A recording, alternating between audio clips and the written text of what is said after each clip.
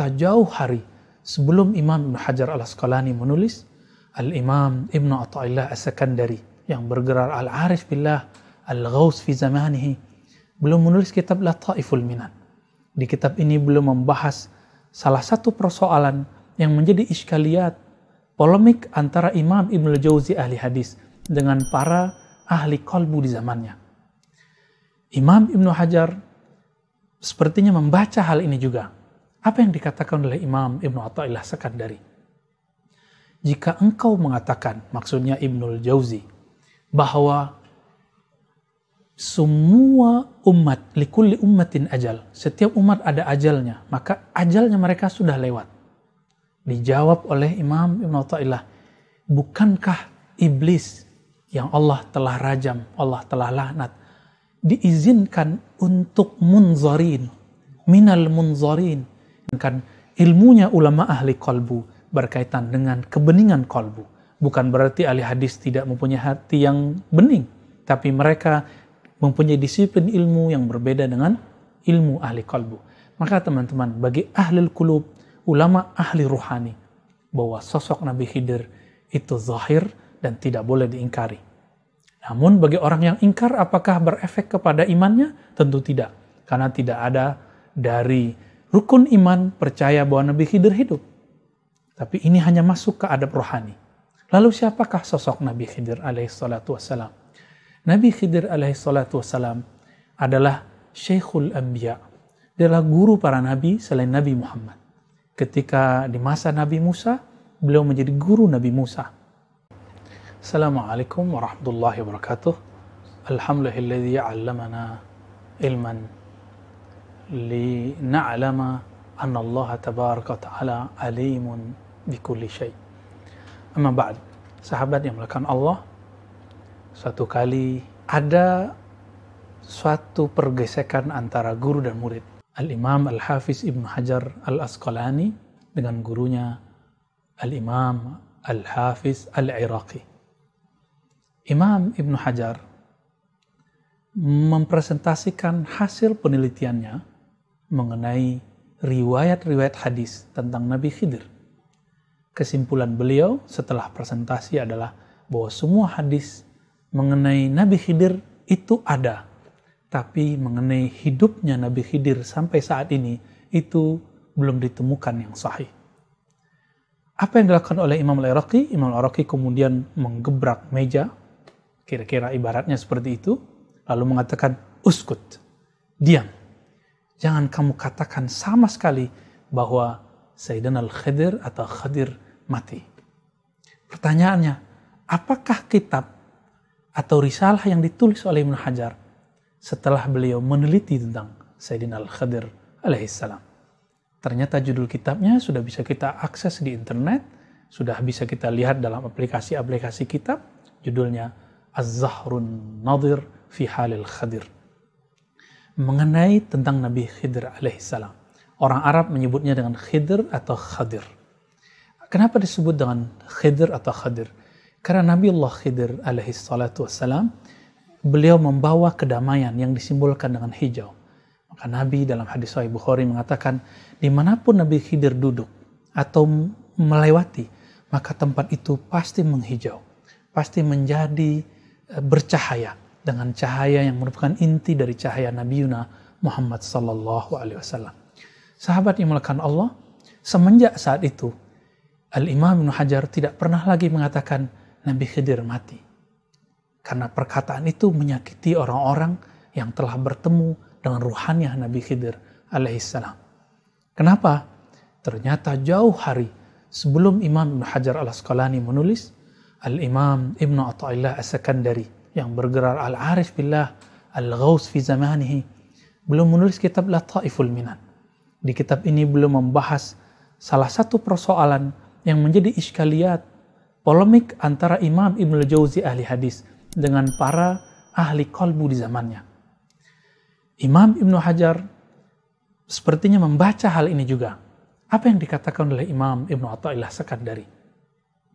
Jika engkau mengatakan, maksudnya Ibnul Jauzi, bahwa semua umat, likulli ummatin ajal. Setiap umat ada ajalnya, maka ajalnya mereka sudah lewat. Dijawab oleh Imam Ibn Atta'illah, bukankah iblis yang Allah telah rajam, Allah telah laknat, diizinkan untuk munzarin, minal munzarin. Dia berdoa, bertawasul dengan sifat Allah, izzah Allah, lalu Allah panjangkan umurnya.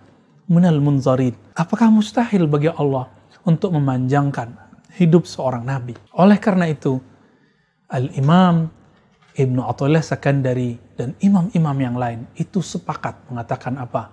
Ijma'ul ummah. Ijma'nya umat. Umat yang mana? Ulama ahli kalbu. Bahwa Nabi Allah Khadir alaihi salam atau Khidir alaihi salatu wassalam beliau hidup. Tapi hidupnya berbeda dengan hidupnya kita. Beliau seperti yang terjadi pada Sayyidina Musa alaihi salatu wassalam, beliau suka melakon. Beliau suka menampilkan hal-hal yang bahkan Nabi Musa diuji cara melihatnya. Apakah Nabi Musa melihat dengan hukum normatif, hukum zahir, atau melihat dengan hukum basirah, hukum mata hati, kebeningan kolbu. Seperti Nabi Musa pun diuji. Beberapa kali beliau hampir gagal, tapi sampai kemudian Allah loloskan beliau apalagi kita.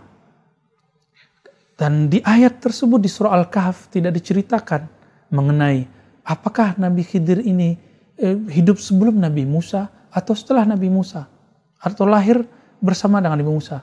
Tidak ada penjelasan begitu. Inilah sebab kenapa ulama ahli hadis sebagian berbeda pendapat.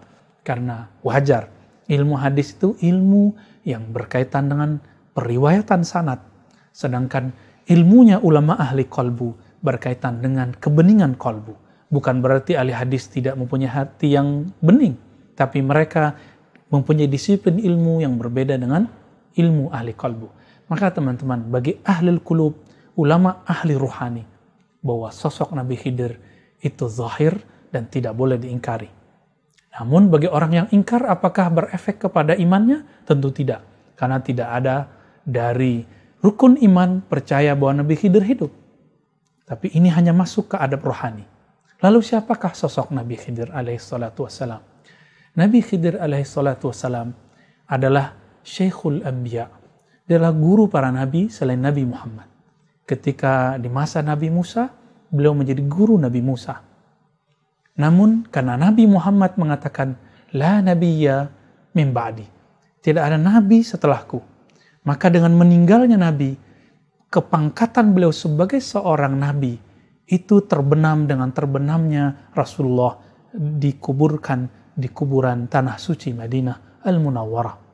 Tetapi kewalian rohani beliau, ma'rifatullah beliau dalam kolbunya tidaklah diturunkan. Ini hanya masalah jabatannya.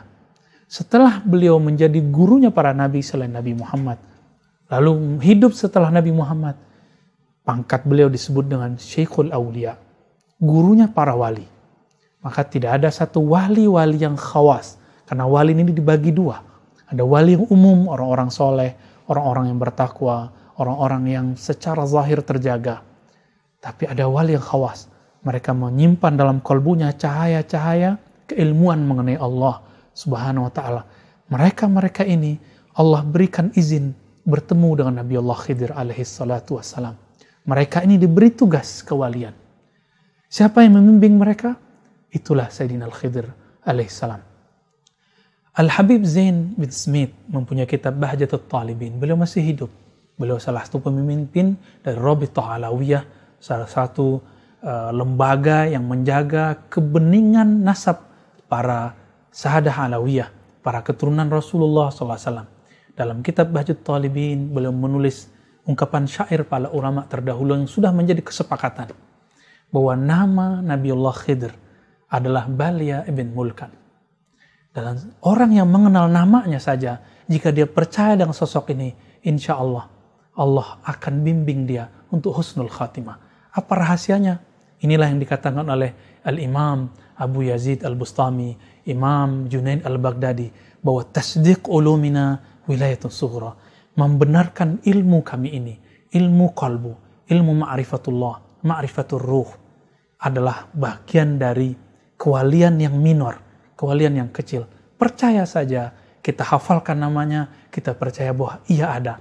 Insya Allah kita termasuk barisan wali-wali, meskipun wali-wali yang minor. Sahabat dimulakan Allah, terlepas dari perdebatan di luar sana, hal ini sangat zahir, sangat nyata, dan menjadi kesepakatan ulama-ulama al-arifuna billah yang mengenal Allah SWT. Maka jangan ragu mengenai hidupnya Nabi Khidir, tasdiklah, percayalah masalah itu, insya Allah kita termasuk barisan orang-orang yang akan diberi bantuan dan ajaran keilmuan oleh orang-orang yang berguru kepadanya. Amin ya alamin. Semoga kita termasuk bagian mereka. Wassalamualaikum warahmatullahi wabarakatuh. السلام عليكم ورحمة الله وبركاته.